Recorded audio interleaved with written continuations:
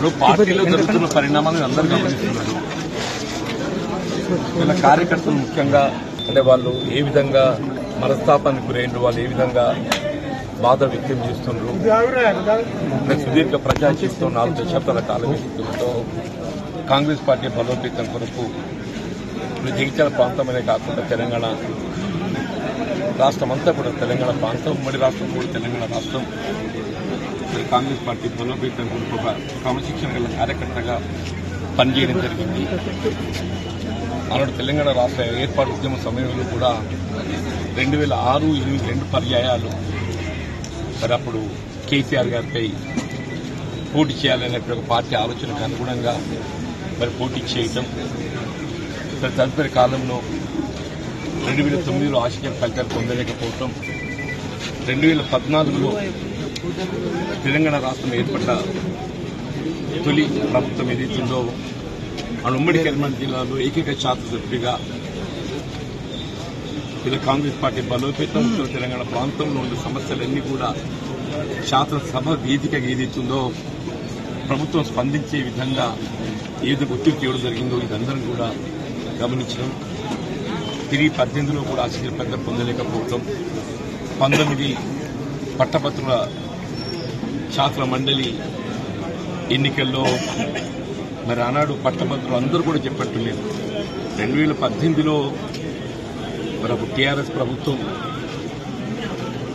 పెద్ద మెజారిటీతో ప్రభుత్వం ఏర్పాటు చేసుకున్నప్పటికీ శాసన మండలిలో మాత్రం ఏదైతుందో అంటే ఫస్ట్ కౌంట్లో ఎన్నికయ్యే విధంగా పట్టభద్రులు యువత నిరుద్యోగ యువత ఉద్యోగస్తులు ఉపాధ్యాయులు అందరూ కూడా అండగా నిలబడి ఒక ప్రశ్నించే గొంతుకగా మనకు అవకాశం కల్పించడం.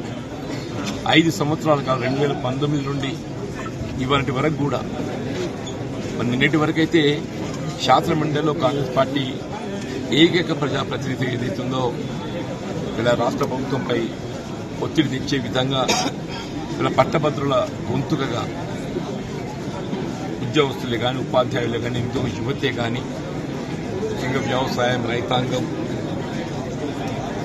గల్ఫ్ కార్మికులు బీడీ కార్మికులు వీళ్ళ వివిధ అంశాలపై ఏదైతుందో మరి ప్రభుత్వంపై ఒత్తిడి తెచ్చి వివిధ విధంగా చేసిన పోరాటం కూడా అందరికీ తెలిసిందని చెప్పండి. సరే తదుపరి మొన్నటి శాసనసభ కానీ నిజామాబాద్ పార్లమెంట్ ఎన్నికల్లో కూడా ఆశ్చర్య ఫలితం పొందలేకపోవడం కొంత బాధాకరం. కార్యకర్తలు ఏదైతుందో ఈ రెండు ఎన్నికల్లో కూడా ఆశ్చర్య ఫలితం పొందలేని పరిస్థితులు కొంత అదంతా బాధతో ఉన్నట్టు పరిస్థితులు ఇవాళ మరి ఇక్కడ ఇంతకాలం ఏదైతుందో ఎవరితోనైతే పోరాటం చేసినామో మరి ఆ శాసనసభ్యుని ఏదైతుందో ఏకపక్షంగా పార్టీలు చేర్చుకోవడం పట్ల కార్యకర్తలందరూ కూడా వారి యొక్క బాధ వాస్తవంగా పార్టీ బలోపేతం అనేది ప్రధానమని చెప్పండి. అటువంటి పార్టీ బలోపేతం కొరకు అగ్రమించలు కృషి చేసి నాలుగు దశాబ్దాలుగా ఈ ప్రాంతం పార్టీ పటిష్టానికి పనిచేస్తుంది. ప్రజలకు అందుబాటులో ఉండి సమస్యల పరిష్కారానికి తోడ్పడుతున్న పరిస్థితుల్లో ఇవాళ సరే శాసనసభ్యుల సంఖ్యాబలం అనే భావనే కావచ్చు కానీ ఆలోచన ఏదైనా కానీ ఏదైతుందో ఏకపక్షంగా నిర్ణయం తీసుకోవడంతో కార్యకర్తలు తప్పుకోలేకపోతున్నారు. వారి యొక్క మరి ఆలోచన సూచనలు దానికి అనుగుణంగా భవిష్యత్తు కార్యక్రమాన్ని నిర్ణయం తీసుకొని జరుగుతుంది. ఏదైనా కానీ ప్రజా జీవితం ప్రజలకు అందుబాటులో సేవ చేయడం ప్రధానమని చెప్పంటారు ఏ బాధ్యత ఏ హోదా అనేది ప్రధానం కాదు.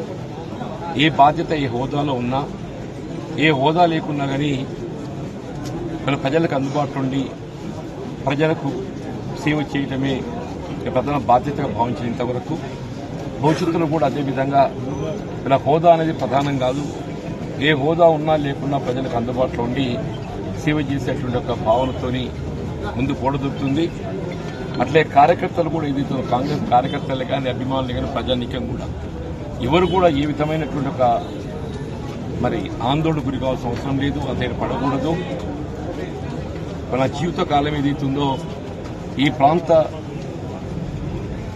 వీళ్ళ కాంగ్రెస్ పార్టీ కార్యకర్తలే కానీ అభిమానులే కానీ ఈ ప్రాంతంలో ఉండే సమస్యల కోసం ఏదైతుందో నేను అందుబాటులో ఉండి సేవ చేయాలనే ఒక సంకల్పంతో మరి ముందుకు పోతున్నా.